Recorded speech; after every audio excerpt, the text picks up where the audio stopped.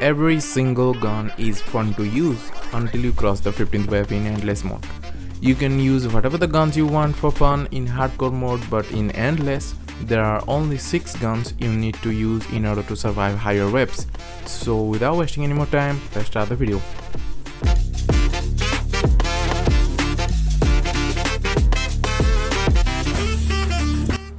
The first one is the RPD. Use the cooling compressor barrel to avoid the ammo issues.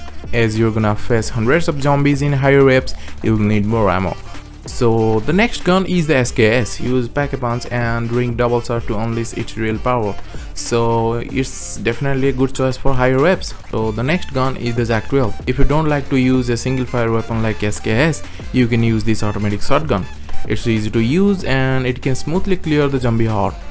X3 weapons are coming under the pistol category and you need to use Voidwalker class to make it effective. So the three guns are L-CAR 9, Shorty and Crossbow.